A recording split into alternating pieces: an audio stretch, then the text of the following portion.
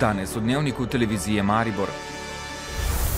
Ivana Vogrina preizkuje protikorupcijska komisija.